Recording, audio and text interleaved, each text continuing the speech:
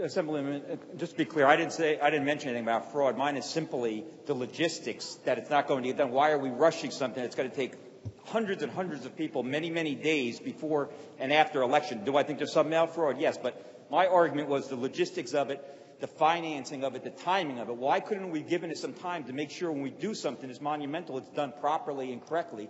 And I and then I have a question um, through the speaker, if I can, just. Someone would you for a question. Of course. Yes. Can you really look me in the eyes, I know through our mask, and tell me, because I, I think we're not being clear that people are not able to use me, that you truly believe that we cannot have people safely vote on a machine? Can you really look me in the eye and tell me that come election day you think it's not safe for New Jersey residents to walk in and simply press a button? What I can tell you, Assemblyman, what I can tell you is, for instance, where I vote, which I have time hearing, I apologize. Sorry. Where I how about now? Sorry.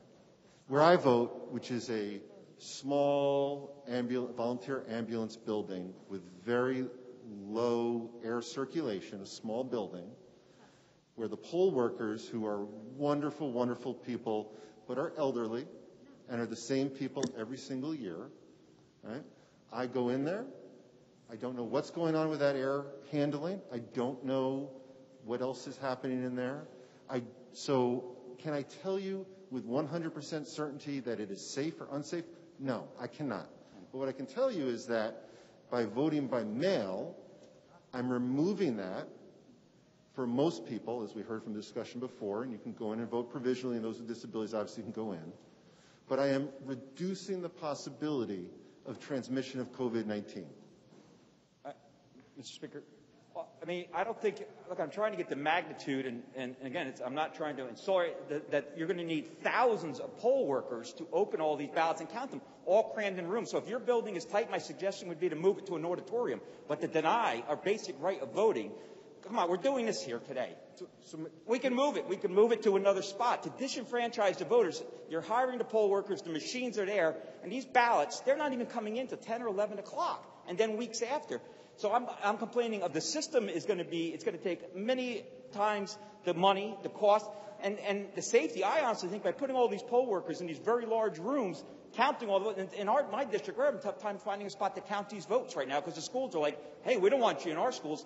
So this is going to have a, a much bigger problem on where you're going to put hundreds of thousands of ballots spread out so they're all counted properly. Mine's not a fraud issue. Mine's a logistics, a cost, and taking away a fundamental right of New Jersey residents.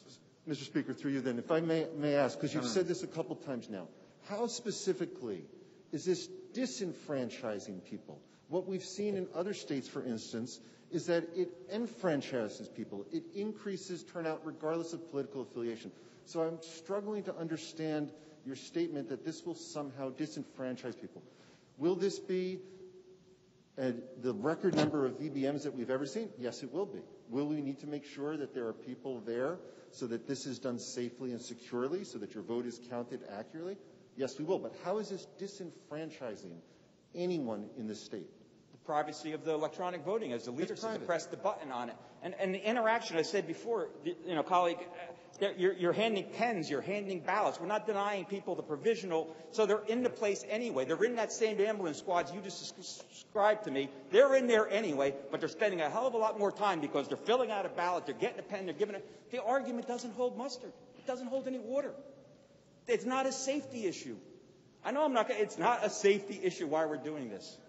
And, and also, I wanted to get on the record. Those boxes are five thousand dollars a piece during these economic times with $220 billion in debt, we're spending unnecessary money.